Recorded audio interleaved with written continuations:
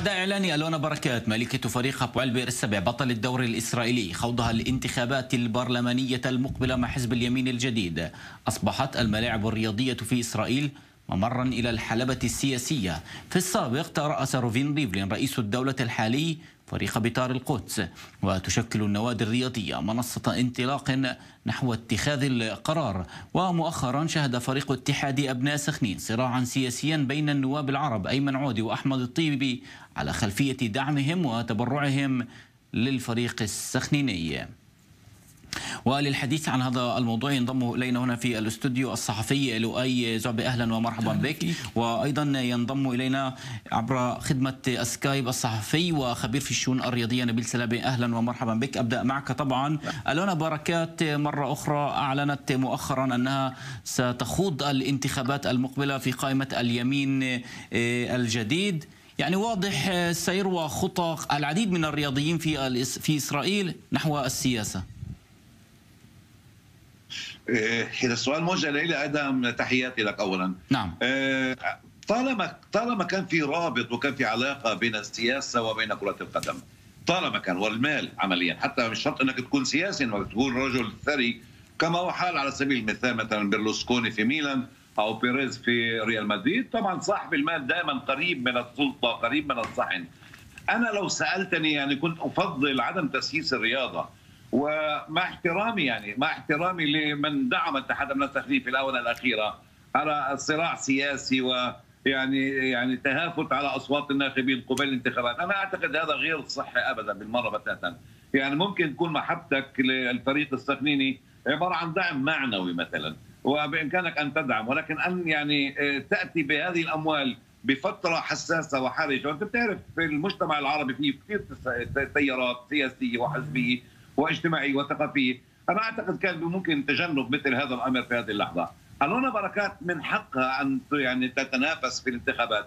ولكن ستحرم من أن تكون مالكة رسمية لفريق بئر السبع ولكن أنا لا أنا أقول وأنا أؤكد تماما بأنه الونا بركات لن تتخلى عن بئر السبع حتى لو حولت السلطة رسميا وشكليا إلى من ينوب عنها. ولكن أنا أقول إنه عدم تسييس الرياضة أفضل بكثير مع احترامي ومحبتي لأعضاء الكنيسة اللي قدموا هذا التبرع لسخنين. نعم. لؤي تسييس الرياضة كما تحدث نبيل سلام يضر في فريق اتحاد أبناء سخنين.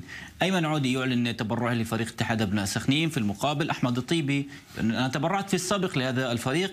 وبدأت هنا مواقع التواصل الاجتماعي تشتعل بين مؤيد لأحمد الطيبي وأيمن عودي. وفي النهاية من يدفع الثمن هو فريق اتحاد أبناء سخنين. ليس فقط فريق أبناء اتحاد سخنين كل الفرق العربية إيه، إيه، اليوم هي تدفع ثمن السياسي الموجود عندنا في الوسط العربي للأسف الشديد فكرة التسييس الحمل الانتخابي الموجود اليوم لأي مرشح إن كان لرئيس مجلس أو رئيس بلدية إيه، بحكم إنه مجرد إنه بده يطلع على على الكرسي أو يقعد أو يستغل اليوم الجماهير الرياضية على أساس إنها تدعمه لأي فريق معين إيه، اليوم شايفين إنه أغلب المواقف السياسية الموجودة آه، في في الفرق والمباشر اللي إحنا شايفينه أحمد الطيبي وأيمن عودي اللي ما كانش هذا بالفترة الأخيرة مجرد إنهم كانوا مع بعض في المشتركة.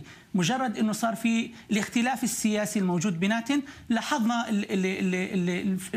المحاولة إنه يصلوا للجمهور قديش أكثر بقد أسرع وقت لأنه القاعدة الرياضية هي قاعدة اللي بتقدر تفيد أي سياسي اليوم موجود عندنا. نعم آه، نبيل يعني الجميع يتحدث أن فريق اتحاد ابناء سخنين سيس يعني هذا الفريق بالأخص بعد انتخابات السلطات المحلية كانت هناك تهم آه، للإدارة وأيضا للبلدية وأيضا كل قضية مازن غنيم.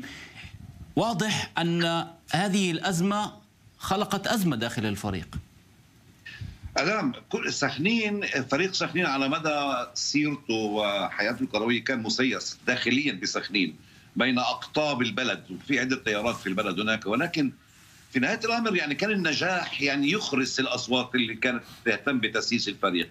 دائما كان في اتهامات لرئيس البلدية هذا إنه بيدعم أو بيدعمش لأنه الإدارة لا غير محسوبة على هذا الرئيس. ولكن إنه اليوم انتقلت التسييس من محليات سخنين إلى القطر عمليا، أنا أعتقد إنه هذا الدعم ما هو دعم شعبي وهذا لن يفيد سخنين مهنيا، أنا لا اتصور إنه هذا الدعم الآن في هذه الفترة. من يريد أن يدعم سخنين ماديا بإمكانه أن يفعل ذلك في بداية الموسم لما الفريق بيكون عنده صعوبات بتمرير ميزانيته بسلطه مراقبه الميزانيات. أما في هذه اللحظة يعني يبدو إنه أمر يعني صغير. أنا كنت كمان مره بفضل عدم تسييس الرياضة. أنا أتمنى أن تروض السياسة وأن لا تسيس الرياضة لأنه هذا بالآخر قد يسبب بالفعل انشقاقات واختلافات في داخل سخنين تنساش انه بسخنين كمان في عدة مرشحين في انتخابات الكنيست من عدة تيارات وهذا الأمر قد يضر في المصلحة العامة في نهاية الأمر، أنا كنت أحبذ أن لا يتم هذا الدعم بمثل هذه الفترة. تصور أنت لو تم هذا الدعم بعد انتخابات الكنيست بغض النظر بغض النظر عن النتائج، كنا أيدنا ذلك واضطرينا لمن فرع وشكرناه ولكن في هذه الفترة الحرجة أنا كنت أفضل التجنب هذا هذه الخطوة لأنه قد تضر في نهاية الأمر. نعم نشاهد أيضا في في الملاعب الإسرائيلية المختلفة التي أصبحت منصة كما تحدثنا طبعا في البداية للعديد من السياسيين. ميري ريجيف طبعا تعتبر من مشجعي فريق بيتار القدس الواي بالإضافة إلى ذلك اليوم رئيسة نادي فريق أبو علبي السبع بدل من أن تأخذ هذا الفريق إلى أبطال أوروبا اليوم تنتقل إلى السياسة يعني. مجرد مجرد إنه في تفكير اليوم رجال الأعمال والمديرين الفرق إنه يختاروا يأخذوا الفرق تاعتهم يختاروا الحصة الجماهيرية الموجودة اللي عندهم ويأخذوها على باب السياسي بحد ذاته هو نوع من أنواع نقدر نسميه خداع الموجود. للأسف الشديد للجمهور اللي, اللي اليوم بدعم بير السبع. بالاضافه إلى ذلك الأمر اليوم بير السبع هي منصة كبيرة للاعبين العرب في في الفريق. اليوم إذا بنلاحظ أكثر اللاعبين العرب موجودين اليوم في بير السبع واختيارها بالذات للبيت الجديد اليمين الجديد ببنت واختياره لدعم فكره القانون القوميه غريب جدا يعني نعم. أنت كل وقت كنت تناصري في مجال إنه إحنا بحاجة إنه نعمل تعايش موجود في الدولة واختيارك مش عارف هل اختيار مختص ولا اختيار عن تفكير ولا اختيار لمصالح شخصية. نعم يعني أستاذ نبيل تحدث الوعي عن نقطة هامة. اللونا بركات على سبيل المثال احتضنت اللاعبين العرب في فريق أبو البير السبع. بالإضافة أيضا إلى الجمهور العربي الجميع تحدث عن شخصية التي كانت تؤمن في التعايش. في المقابل في أول تصريح لها يعني قالت أنا لا أؤمن أصلا في فكرة دولة إقامة دولة فلسطينية. كيف تفسر هذه المفارقة؟ من الرياضة إلى السياسة وتغير في وجهات النظر.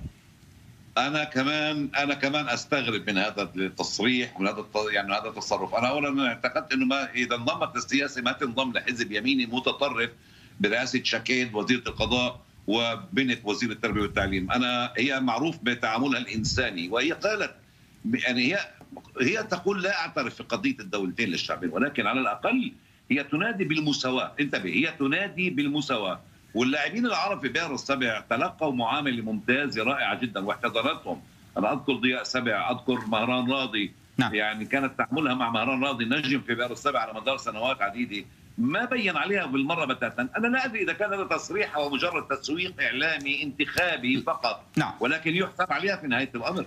نعم. السيد عليها. نبيل نعم. نبيل سلامي صحفي رياضي وخبير في الشؤون الرياضية شكرا جزيلا لك. وأيضا لؤي زعبي شكرا جزيلا لك.